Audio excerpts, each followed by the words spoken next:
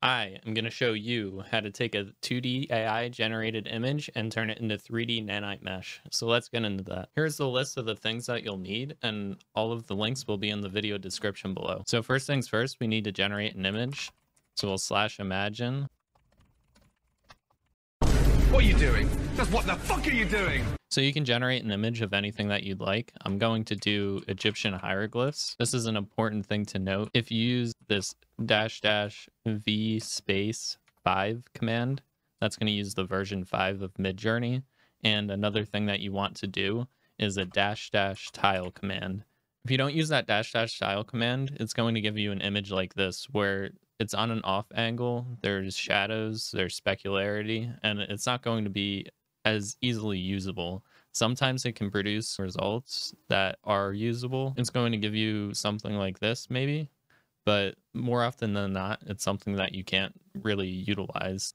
So we're going to hit enter and let that generate. And another thing that is important to note if you're using this in Unreal Engine 5 is that it uses powers of two for its textures. So if you generated a different aspect ratio, like a seven by four, four by seven, three by two, something like this, you're going to have to go in and manually change the image in uh, Photoshop or GIMP or something like that in order to get that to a resolution that is acceptable for your Unreal Engine. All right, now that we have our image generated, we're going to open it up in the browser and right click and save an image as. Just make sure it's saved as a PNG. Cool. And the next thing that we're going to do is go to an upscaler website. I'm going to use upscale.media and you're just going to go ahead and select the image that you generated. All right, now it's upscaled from 1K to 2K and it was fairly quick. Taking a look at it, it definitely looks a lot sharper. Depending on the image that you generated, you might have lost some detail through the upscaling process, but it's important to upscale it because you want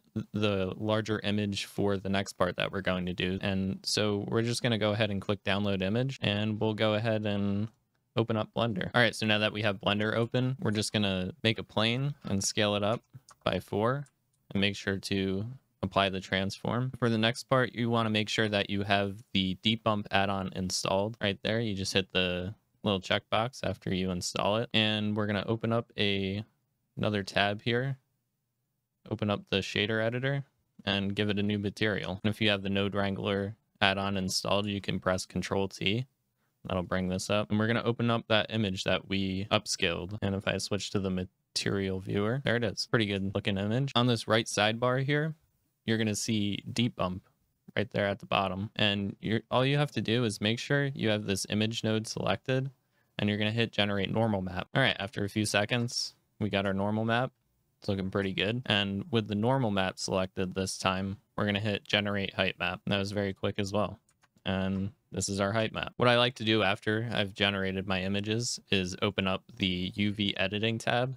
And with the newly generated height map, I'm just going to make sure it's selected and go to image, save as, and save that image.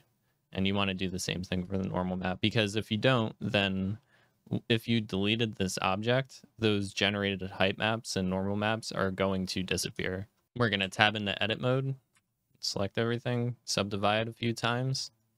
I like to do it like five or six times. And you'll want to add a multi-resolution modifier and you want to hit the simple button. But before you do that, you want to come up here and enable statistics so that you don't generate too many faces that your computer can't handle. And I know that my computer can handle around 4 million. We'll stick with 2 million. That's plenty. And we'll have to open the sculpting tab. Now in here, there's a few settings that we're going to change. And that is going to be over on the sidebar here. So we're going to open up the tools for the draw brush and we're going to change a couple things and that's going to be the texture. We're going to add a new texture and then come down to this checkerboard here and open the height map. You don't have to do anything else here. That's all good. And then you'll come up here to the tool settings and we're going to change the mapping under texture to from tiled to stencil. And we're going to change the stroke to anchored and we're going to change the fall off to constant. And so if you mouse over the viewport here, you'll see this image and you can right click and drag to move it around and shift right click to scale it. And you just want to line it up as best as you can. And I've done this probably a hundred times and I've never gotten it completely correct. There's always like one line of pixels on one side or the other that doesn't want to be sculpted. So another th- setting that we're going to change is the strength. You want to bring it down between 0.12 and 0.2, something like that. I find 0.18 to be perfectly fine. And you want to scale up the brush. And all you have to do is click and drag. And there you go. You're going to see it pop out of a low resolution and high resolution. And if you don't want that to happen, all you have to do is hit this checkbox sculpt base mesh. And so we have our height map imprinted onto this plane. And that was pretty quick and easy. And so I'm pretty happy with that right out of the gate.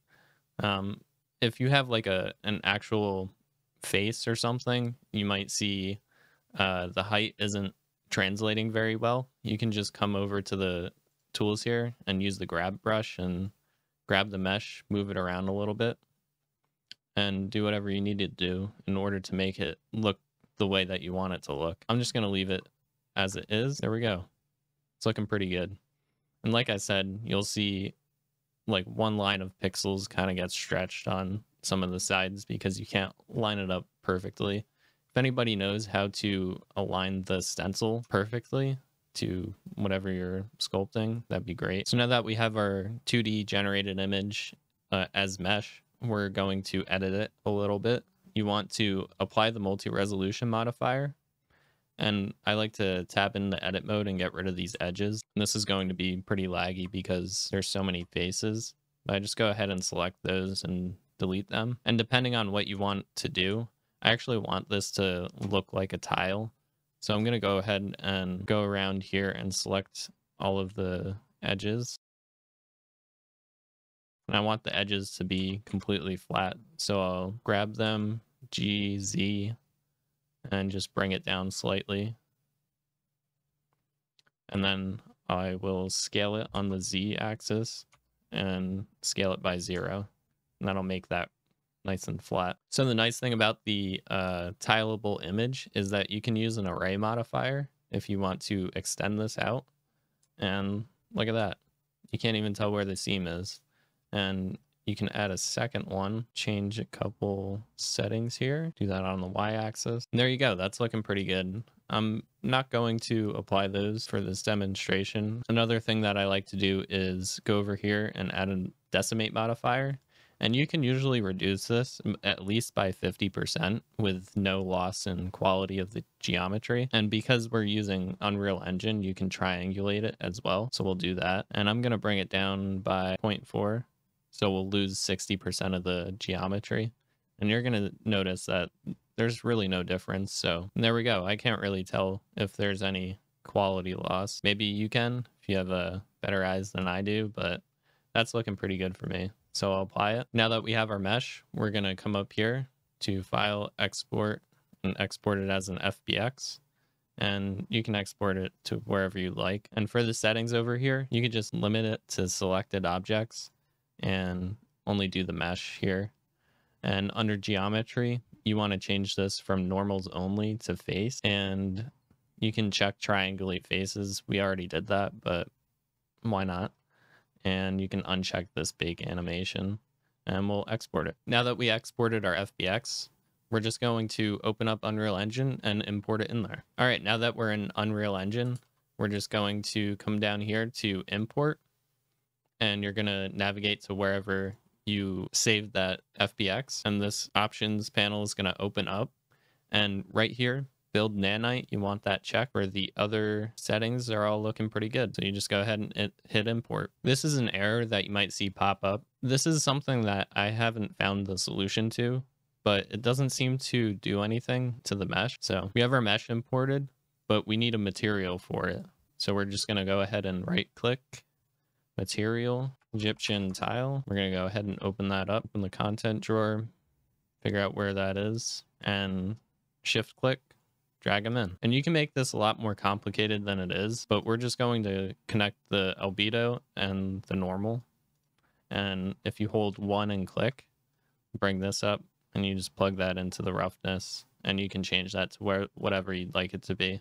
Um, I'm just going to do like 0.8, hit apply and save. We'll close out of that.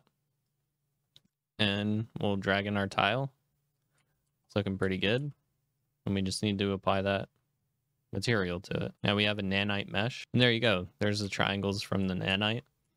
And that's looking pretty good. Nice and easy. And if you look closely, you can see that it's a little jagged. Generally, you're not going to be this up close to the mesh.